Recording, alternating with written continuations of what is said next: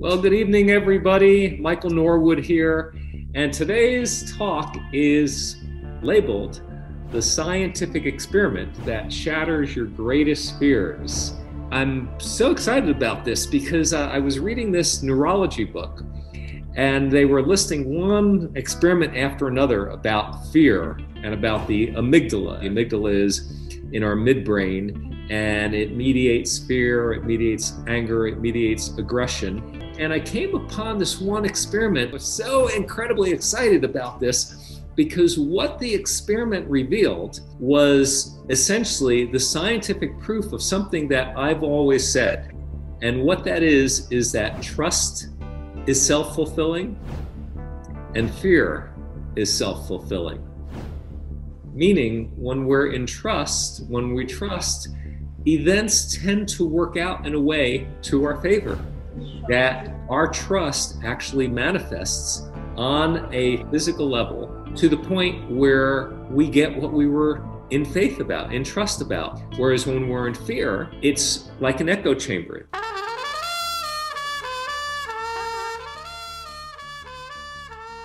That fear comes back to us and whatever we fear, as the saying goes in the Bible, that that which I fear has come upon me. And so this is this is what the this, the experiment was. It was a little Pac-Man. It, it took some volunteers, and, and most likely you would not have wanted to volunteer for it.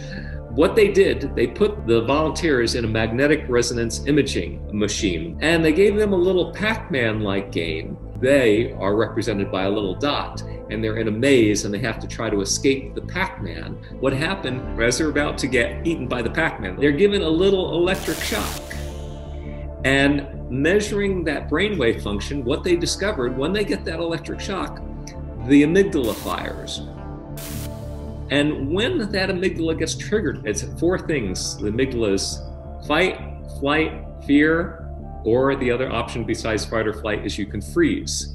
Okay, so when that response gets triggered, what happens? The prefrontal cortex, this area here, our strategy making part of our brain, our self reflective uh, part of our brain, our rational brain gets turned off. From an evolutionary standpoint, the reason that is, is because, as an example, you touch a hot stove, there's no thinking process involved. You immediately go into autonomic function where your hand removes and likely that amygdala gets stimulated. If you're getting chased by a lion, you suddenly see a lion coming at you.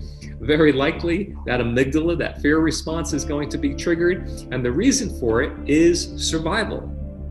Okay. However, what happens is it turns off the ability to strategize. And this is how the experiment went. Every time that the little Pac-Man caught the person represented by the little dot, they'd get a, a little higher electrical voltage each time. And so what was so extraordinary in this experiment was that the amygdala started a fire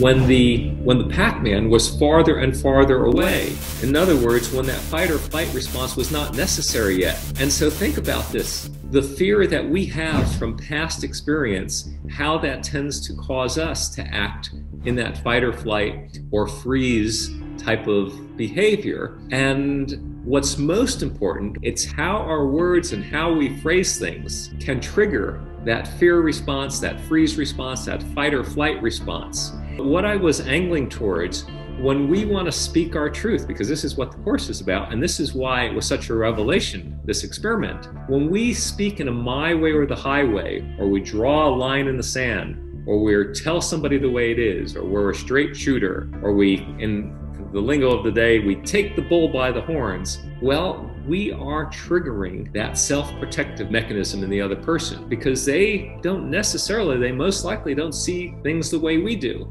And if we're in a mode where we need to speak our truth and we just come out straight shooter a la John Wayne, a la Clint Eastwood, Arnold Schwarzenegger, all these American folklore type of heroes from Hollywood. Well, it looks really good on the big screen, and, and in the short run, it does accomplish its purpose. But in the long run, because somebody starts to associate us with threatening them in some way, threatening their belief systems, via that amygdala being, being triggered, what happens they no longer are open. They have gone into their shell. They have frozen their fight or flight. They're ready. I mean, just think of Democrats trying to speak with Republicans nowadays, Republicans trying to speak with Democrats. It's gotten to a point where we just can't do it because everybody is so self protective of their own turf. So rather than that my way or the highway or that fifth phase, what we call hitting the nail on the head, and of course, with the five phases, even hitting the nail on the head, we have a very graceful way of doing it that doesn't trigger that amygdala, doesn't trigger that freeze, fight, flight, fear response. But when you just start off right off the bat, hit the nail on the head, you trigger that self protective, that autonomic, that prehistoric, that reptilian, that dinosaur brain. Whereas when we use the five phases, when we hold the space initially, we just listen. When the so the person doesn't feel threatened. When we speak their truth first, complimenting them, thanking them, showing something we appreciate about them, saying, hey, the same thing has happened to me, showing we're in alignment with them when we give them a chance to speak our truth for us, phase three, and when we ask questions of grace, phase four. So, we, honest curiosity, this doesn't trigger that amygdala. What it does is it triggers the prefrontal cortex. It triggers the empathy centers in the prefrontal cortex. It triggers everything that opens them up to want to hear more from us. Whereas it's a paradox. When we come out guns a blazing, you know, locked and loaded, ready to speak our truth in a classical manner, you know, I'm going to tell you the way it is, like it or not, it accomplishes the opposite effect. Rather than creating a friend, we create somebody who is an opponent now, somebody who's an adversary. And boy, oh boy, are we seeing it in our country right now, more than ever.